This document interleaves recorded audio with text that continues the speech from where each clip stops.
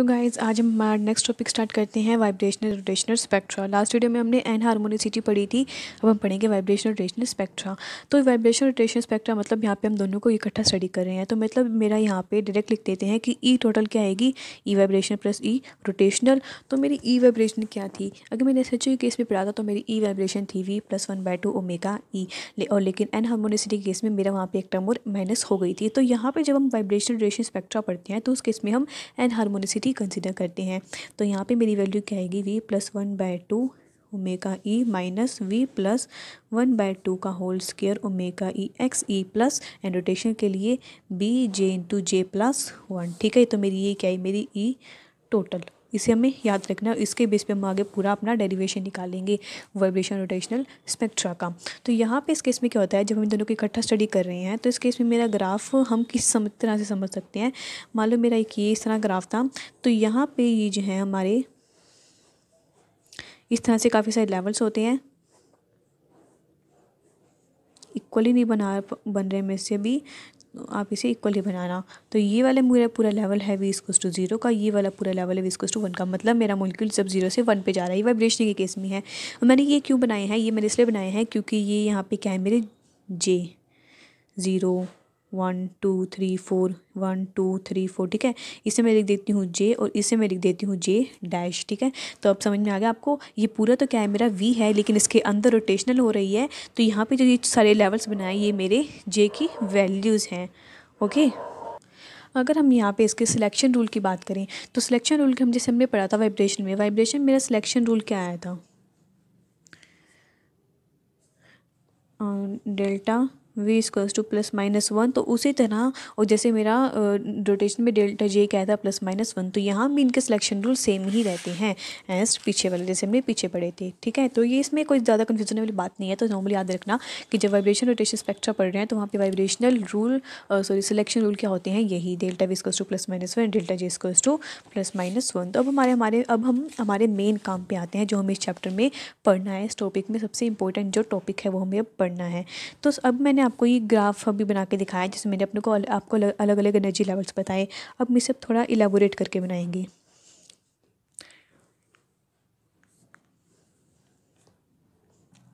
ठीक है तो मैंने ये बना दिया है। तो बिल्कुल उसी तरह बनाया, बस थोड़ा अच्छे से समझने के लिए इसको अच्छे से वो कर दिया। मैंने लेवल्स इसके अच्छे से शोन कर दिए हैं। तो मेरा पूरा लेवल वाइब्रेशन का ज़ीरो ये पूरा लेवल वाइब्रेशन का वन मेरा मोलिक्यूल ज़ीरो से वन के ऊपर उठ जाता है। तो उस केस में अगर हम वाइब्रेशन रोटेशन स्पेक्ट्रा पढ़ रहे हैं तो नॉर्मल जो वाइब्रेशन पढ़ा था तो मेरा मोलिक्यूल वी ज़ीरो से वन पे जा रहा था। लेकिन अगर हम दोनों इकट्ठा स्टडी कर रहे हैं तो मेरा मोलिक्यूल वी ज़ीरो से वी वन पे तो जाएगा ही जाएगा, लेकिन उस वक्त वो जे ज़ीरो से जे वन पे जाएगा।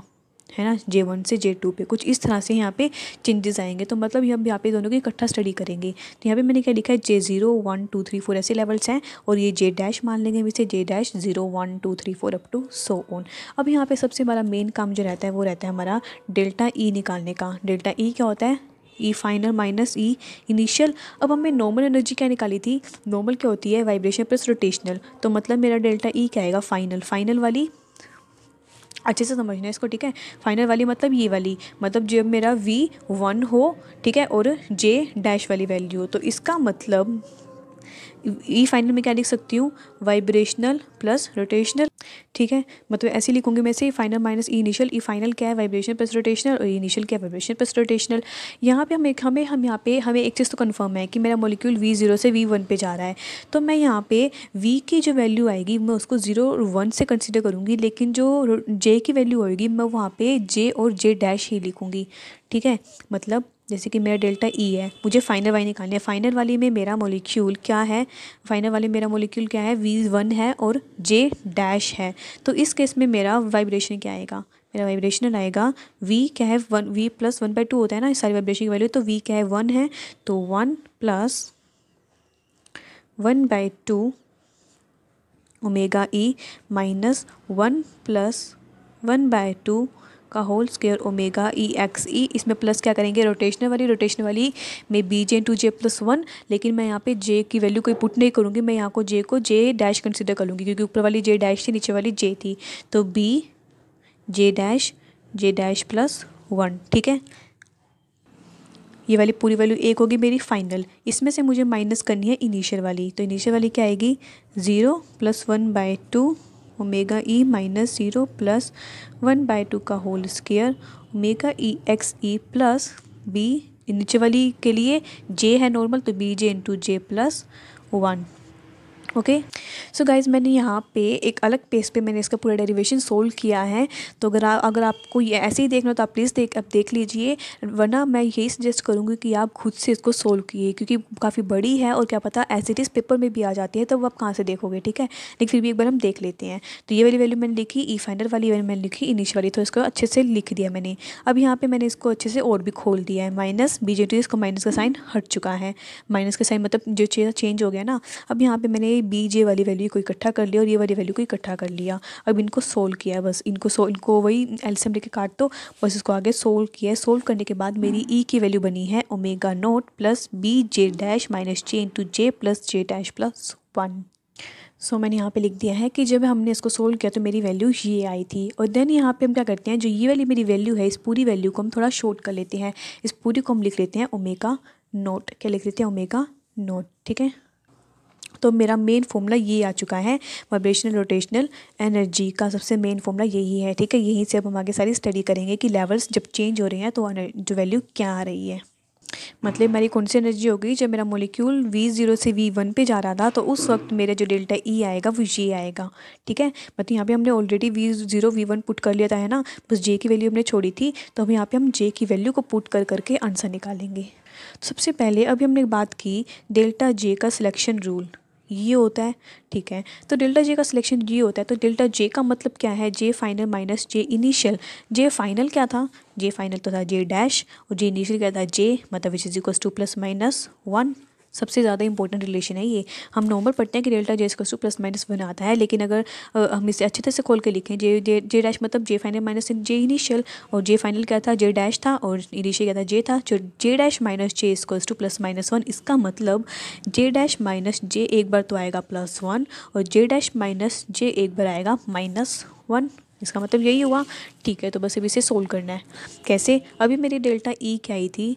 Omega nought plus B J dash minus J J plus J dash plus one ये आई थी। ठीक है तो यहाँ पे सबसे पहले कंसीडर करके चलेंगे हम प्लस वाली वैल्यू मतलब ये वाली वैल्यू कि जब मेरा जे डैश माइनस जे क्या होएगा? प्लस वन तो उस वक्त मेरी जे डैश की वैल्यू क्या आएगी? वन प्लस जे ये आएगी ना? ठीक है तो वैल्यू पुट कर दो। Delta E is equals to omega nought plus B into one plus J minus J one plus J plus J plus one यही आएगी ना? ठीक है। तो बस इसे सोल्व करना है। सोल्व करके आंसर क्या आ जाएगा? Omega nought plus B into two J plus two तो मतलब delta E is equals to omega nought plus two B J plus one okay फिर अब सेकेंड वाली कंसीडर कर लो, जिसमें हमने डे डैश माइनस जे को क्या लिया था? माइनस वन लिया था। प्लस वाली वैल्यू निकाल लेते हैं हम यहाँ से, ठीक है? जे की वैल्यू क्या गई वन प्लस जे डैश यही आएगी। तो बस यहाँ पे भी सेम पुट करो। Delta is equals to omega nought plus B into J dash minus one minus J dash and one minus J dash minus plus J dash plus one ठीक है? तो डेल्टा ई की वैल्यू आ जाएगी मेरी। And and बिल्कुल end result निकाल देती हूँ। क्या आएगा? Omega nought minus two B J dash plus one ठीक है? मेरे पास दो रिलेशन आ गए। एक ये रिलेशन है, एक रिलेशन है। नोट करो इन दोनों बातों में कॉमन क्या है। यहाँ पे सबसे बड़ा डिफरेंस क्या है? यहाँ पे माइनस है और यहाँ पे सॉरी यहाँ पे प्लस है, यहाँ पे माइनस है। दूसरा यहाँ पे जे है तो यहाँ पे जे डैश है। वैसे नॉर्मल वैल्यू से कोई फ़र्क नहीं पड़ता। अगर हम इसे डायरेक्ट मतलब एज ए एज्यूम करके चलते हैं तो यहाँ पर कोई फ़र्क नहीं पड़ता है जे और जे डैश से। नॉर्मल अगर नॉर्मल बात करूँ मैं, ठीक है? ग्राफ के लिए बात करूँ, जैसे मैं अभी समझा देती हूँ आपको, मैं यहाँ पर इस पूरी वैल्यू को एक्स लिख दूँ। और इस पूरी वैल्यू को मैं एक्स लिख दूँ। दोनों की बात सेम ही है। तो मेरी डेल्टा ई फ़र्स्ट केस में क्या बनेगी? Omega nought plus X E और दूसरे केस में क्या बनेगी? Omega omega nought minus X E समझ में आ गया ना? मैं उस पूरी वैल्यू को एक्स लिख रही हूँ दोनों वैल्यूज़ में। तो मेरा क्या बनेगा? Delta E is equals to omega nought plus X and omega nought minus X तो अब हमें यहाँ पे एक कंक्लूज़न मिलता है कि अगर मेरा, अगर नॉर्मल मेरा मोलिक्यूल इस तरह से मतलब ओमेगा नोट पे है तो अगर वहाँ पे मेरी एक्स वैल्यू इंक्रीज़ हो रही है, अगर मेरा प्लस एक्स हो रहा है, अगर मेरा एक्स प्लस हो रहा है तो मेरी वैल्यू इस तरह से जा रही है मतलब यहाँ पे मेरी क्या आ रही है हाई फ्रिक्वेंसी मुझे मिल रही है, लेकिन अगर मेरा जब माइनस एक्स हो रहा है तो मुझे वहाँ पर लो फ्रिक्वेंसी मिल रही है मतलब यहाँ पे डेल्टा ई क्या था omega nought minus x E x sorry x लिखा था हमने, और यहाँ पे delta is equals to omega nought plus x ये वैल्यू थी। और एक बात और नोट करो कि जब मेरा ओमेगा नोट प्लस एक्स कब आया था? जब आया था जब मेरा डेल्टा जे प्लस वन था, और मेरा ओमेगा नोट माइनस एक्स कब आया था? माइनस वाली वो कब आई थी? जब मैंने डेल्टा जे को माइनस वन कंसिडर किया था। है ना? तो बस इसको आप अगर आपको ये चीज़ समझ में आ गई तो समझ लो आपको पूरा टॉपिक समझ में आ चुका है, क्योंकि इसके बाद हम एक पूरा का पूरा डेरिवेशन करेंगे, इनकी वैल्यूज़ पुट करके ओके चीज़ समझ में आ गई ना आपको कि अगर मैंने, जब मैंने डेल्टा जे माइनस वन लिया तो मेरी वैल्यू इस तरफ़ जाएगी, लेकिन अगर मैंने डेल्टा जे प्लस वन लिया तो मेरी वैल्यू इस तरफ़ जाएगी, जहाँ पर मेरी फ्रिक्वेंसी इंक्रीज़ करेगी और इस केस में मेरी फ्रिक्वेंसी डिक्रीज़ करेगी। सो so, मैंने यहाँ पे एक ग्राफ बनाया है ठीक है? तो मतलब ग्राफी टाइप है जहाँ पे जैसे हमने पीछे शो किया था ना कि वी ज़ीरो और वी वन पे हमारा मोलिक्यूल कर वाइब्रेट कर रहा है। तो उस केस में हमने यहाँ पे वाइब वो रोटेशनल लेवल्स बनाए थे है ना? Rotation level J zero one two three four five and J dash zero one two three four and five अभी हमने कंसिडर किया ऊपर जब डेल्टा जे प्लस वन था तो मेरी वाइब्रेशन इस तरफ़ आ रही थी लेकिन अगर डेल्टा जे माइनस वन है तो मेरी फ्रिक्वेंसी उस तरफ़ जा रही थी। तो मैंने इस तरफ़ ऐसे लिख दिया इसको डेल्टा जे इस तरफ़ लिख दिया डेल्टा जे माइनस वन इस तरफ़ लिख दिया। ओके, अब हम इसको यहाँ पे स्टडी करके चलते हैं। अब यहाँ पे मैंने कहा delta J is equals to minus one delta J is equals to minus one का मतलब क्या था? कि जे डैश माइनस जे क्या आएगा? माइनस वन आएगा। मतलब मेरी जे की वैल्यू क्या आएगी? वन प्लस जे डैश एक एक चीज़ स्टेप अच्छे से समझ लेना, ठीक है?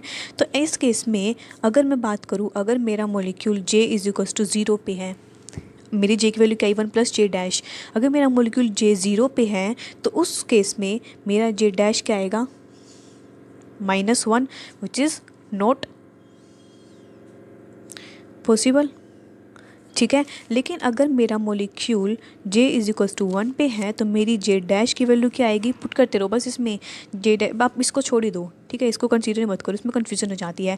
अगर मेरा, हम, हमारा नेचुरली इनिशियल स्टेट क्या है जे ऊपर क्या है फाइन जे डैश तो मेरा मोलिक्यूल जे से जे डैश पे जाएगा।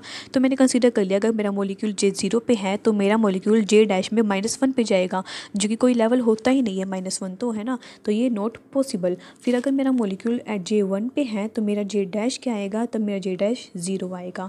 और अगर मेरा मोलिक्यूल जे टू पे है तो मेरी जे डैश फाइनल वाली वो कहाँ पहुँचेगा? वो पहुँचेगा वन पे। और अगर मेरा मोलिक्यूल जे थ्री पे है तो एट तो मेरा जे डैश फाइनल पे कहाँ जाएगा मोलिक्यूल टू पे पहुँच जाएगा। तो इन केस से आपको एक चीज़ समझ में आ रही है कि कभी भी मेरा मोलिक्यूल ज़ीरो लेवल से स्टार्ट नहीं करेगा। समझ में आ रहा है कि मेरा मोलिक्यूल ज़ीरो लेवल से स्टार्ट नहीं करेगा, मेरा मोलिक्यूल लेवल वन से स्टार्ट करेगा और ज़ीरो लेवल पर तक जाएगा। मतलब मेरा मोलिक्यूल यहाँ होगा और वो कब जाएगा? वन सॉरी यस ज़ीरो पे जाएगा। जब मेरा मोलिक्यूल वन पे है, जब मेरा मोलिक्यूल जे वन पे है तो जे डैश में वो ज़ीरो तक वाइब्रेट रोटेशन करेगा तो जब वन से तो ज़ीरो तक करेगा। और जब टू लिया था हमने तो वन पे जाएगा, और जब थ्री लिया तो वो टू पे जाएगा। समझ में आया? ये आपके बुक में दिया होगा मुझे लगता है आप काफ़ी बच्चों को समझ में नहीं आता ये, क्योंकि इसमें थोड़ा कन्फ्यूज़ सा कर रखा है। काफ़ी ज़्यादा मिक्स चीज़ें कर रखी है, ठीक है? तो इसका मतलब ये है कि हमारा मोलिक्यूल कभी भी जे ज़ीरो से स्टार्ट नहीं करेगा in the case of delta J स्कोज to minus one अगर वो इस तरफ़ शिफ्ट कर रहा है, ठीक है? फिर हम सेकेंड केस लेके चलते हैं जब डेल्टा जे क्या है प्लस वन है तो मतलब मेरा जे डैश माइनस जे क्या आएगा प्लस वन आएगा, ठीक है? तो मैं कंसिडर करके चलती हूँ मेरा मोलिक्यूल जे ज़ीरो पे है तो मेरा जे डैश क्या आएगा? वन अगर मेरा मोलिक्यूल जे वन पे है तो मेरा जे डैश क्या आएगा? माइनस वन टू ठीक है? अगर मेरा मोलिक्यूल जे स्कोस टू कहाँ से है? जे स्कोस टू पे है तो मेरी जे डैश क्या आएगी? थ्री समझ में आ रहा है? वैल्यू पुट करते रहो बस। तो यहाँ पे इसका मतलब जब मेरा डेल्टा जे स्कोस टू प्लस वन पे है, तब मेरी वैल्यू पॉसिबल है कि मोलिक्यूल ज़ीरो से स्टार्ट करेगा और किस पे जाएगा? वन पे जाएगा। तो मतलब ज़ीरो तो ये हुआ, और ज़ीरो स्टार्ट के कहाँ जाएगा? वन पे जाएगा। वन से टू पे एंड टू से थ्री पे। ठीक है, समझ में आ रहा है? तो इस केस में मेरा क्या था? इस केस में तो मेरा अगर मोलिक्यूल वन लेवल पे था तो ऊपर जाके वो मोलिक्यूल ज़ीरो लेवल पे जा रहा था और इस तरह से डिक्रीज़ कर रहा था मतलब अपने लेवल लेकिन यहाँ पे क्या अगर मेरा मोलिक्यूल ज़ीरो पे था तो वो वन पे जा रहा है। वन पे है तो वो टू पे जा रहा है थ्री पे टू पे है तो वो थ्री पे जा रहा है। ठीक है? तो आई थिंक आपको ये काफ़ी अच्छे से समझ में आ चुका होगा कि आपके बुक में ग्राफ किस तरह से दिए होते हैं और किस तरह से उनके लेवल्स बनाए होते हैं। ठीक है, अब हमने ये तो निकाल लिया जे अब हमें निकालनी है एनर्जी एनर्जी मतलब कि जब मेरा मोलिक्यूल ज़ीरो पे है या वन पे है या टू पे है तो उसकी एनर्जी क्या क्या आ रही है? तो मैंने अभी दो फॉर्मूले पढ़े थे हमारे omega nought plus two B J plus one and दूसरा पढ़ा था omega nought minus two B J dash plus one, ठीक है? दो वैल्यू हमने पढ़ी है, ठीक है? अब मैं यहाँ पे क्या करती हूँ? मैं यहाँ पे कंसीडर करके, अब यहाँ पे हम क्या करते हैं? हमारे पास दो वैल्यू है, एक फ़र्स्ट वाली और एक सेकंड वाली पहले हम फ़र्स्ट वाली को सोल्व करते हैं। फ़र्स्ट वाली में कुछ केसेस बना लेते हैं। Delta E is to omega nought plus two B तीन केस बना लेते हैं। खुद दो, तीन निकाल लेते हैं ठीक है? वैल्यूज़ निकालते हैं। हमें जे की वैल्यूज़ निकालनी है, ठीक है? मैंने मान लिया कि जे की वैल्यू जो मेरी ज़ीरो थी तो मेरा क्या आएगा? ज़ीरो प्लस वन मतलब टू भी आ गया, ठीक है। तो ओमेगा नोट अगर मेरी जे की वैल्यू वन आती है तो two B plus one plus one, two तो क्या आ जाएगा फोर। बी और डेल्टा ई क्या आएगा ओमेगा नोट प्लस, अगर मेरी वे टू आती है तो टू पुट कर दो, two plus one three three two ज़ा सिक्स, क्या आ जाएगा सिक्स बी। तो ये था मेरी फ़र्स्ट इक्वेशन, जब मैंने इसको सोल्व किया। अब मैं करती हूँ, ये मेरी पूरी फ़र्स्ट इक्वेशन वाली, अब मैं करती हूँ सेकेंड इक्वेशन वाली को सोल्व। तो डेल्टा ई क्या आएगा? Omega nought minus two B. अगर मेरा मोलिक्यूल जे डैश ज़ीरो है। तो क्या आई ज़ीरो हो गया तो वैसे भी टू बी ही आएगी, ठीक है? वन आ गया तो। And delta E is equals to omega nought minus वही फोर बी अगर मेरा मोलिक्यूल जे डैश वन पे है and delta E is equals to omega nought minus six B अगर मेरा molecule J dash is equal to two पे चला गया, ठीक है? ओके। तो यहाँ पे हमें दोनों वैल्यूज़ में क्या कॉमन लग रहा है? सब कुछ कॉमन है, बजाय कि प्लस और माइनस के। प्लस इंडिकेट कर रहा है कि वो इस तरफ़ है माइनस इंडिकेट कर रहा है कि वो इस तरफ़ चला गया। ठीक है?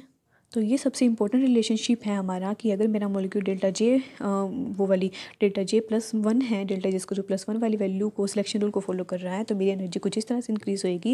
लेकिन अगर मेरी वो delta J to minus one को फॉलो कर रहा है तो मेरा इस तरह से कुछ क्या आएगी एनर्जी डिक्रीज़ करेगी। लेकिन इंक्रीज़ और डिक्रीज़ सेम एक्सटेंट से हो रही है। अगर इंक्रीज़ सिक्स पी से हो रहा है तो डिक्रीज़ भी सिक्स पी से ही हो रहा है, ठीक है? सो गाइज़ वैसे तो हमारा टॉपिक कंप्लीट होता है वाइब्रेशन स्पेक्ट्रोस्कोपी का, लेकिन इसके बाद आपके बुक में ब्रांच दी हुई है so called P Q R branch थोड़ी इंपॉर्टेंट है, कभी कोई क्वेश्चन आ जाता है तो एक बार करा देती हैं, ठीक है? ज़्यादा मुश्किल नहीं है, बिल्कुल ईजी से समझ लेना.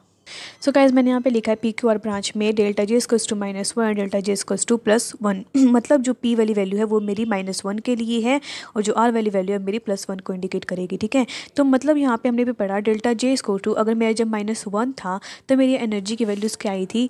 ओमेगा नोट मतलब सेंटर वाला ओमेगा नोट एक मिनट। ओमेगा नोट में से टू बी माइनस हो रहा था मतलब ओमेगा नोट में से टू बी माइनस हो रहा था, तब मेरी ब्रांच जो है इधर शिफ्ट हो जाती है। मतलब इन दोनों के बीच का गैप कितना है? सॉरी, टू बी, ठीक है? फिर अगर मेरा मोलिक्यूल, फिर यहाँ पे सेकंड केस में क्या था कि ओमेगा नोट में से फोर बी माइनस हो रहा था, जब डे, जे वन पे जा रहा था तो यहाँ से इतने से, इतने तक के गैप कितना हो गया? ओमेगा नोट से पी वन तक का गैप, फोर भी हो गया, उसी तरह यहाँ से लेके यहाँ तक का गैप कितना हो गया? सिक्स भी हो गया मतलब ये डिक्रीज़ हो रहा है, माइनस हो रहा है। लेकिन जब हम प्लस वन में पढ़ रहे थे मतलब जे इसको जो प्लस वन में तो मेरी ओमेगा नोट में कुछ ना कुछ वैल्यू इंक्रीज़ हो रही थी, और वो जो इंक्रीज़ हो रही थी, वो यहाँ पे थी टू बी और इसमें से इंक्रीज़ होकर बना रही थी फोर बी और इधर से इंक्रीज़ होकर बना रही थी सिक्स बी एक बात और नोट करोगे आपने, मैंने यहाँ पे R nought R one R two R three लिखा है R zero one two three लेकिन यहाँ पे मैंने पी वन लिखा है।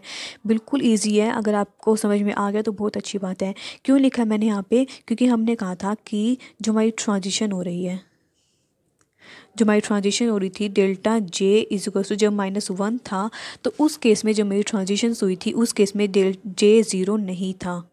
मतलब ज़ीरो से वन पे कोई ट्रांजिशन नहीं हो रही थी, याद आया? जब हमने किया था ना, उसमें जे हमने ज़ीरो पुट किया था और तो जे डैश क्या आ गया था? माइनस वन आ गया था, जो कि पॉसिबल ही नहीं है। तो हमारी ज़ीरो से लेके वन में कोई ट्रांजिशन होती ही नहीं है। तो इसलिए मैंने यहाँ पे पी नोट हम यहाँ पे नहीं लिखते। क्या लिखते हैं? पी वन लिखते हैं। तो इसलिए हमारा जो पी ज़ीरो है वो नहीं होता। लेकिन आर ज़ीरो होता है क्योंकि वहाँ पे तो ट्रांजिशन हो रही थी। ठीक है? तो यहाँ पे हमारा गाइस ख़त्म होता है वाइब्रेशनल स्पेक्ट्रोस्कोपी तो नेक्स्ट वीडियो में हम करेंगे रमन स्पेक्ट्रोस्कोपी जो कि लास्ट टॉपिक होगा।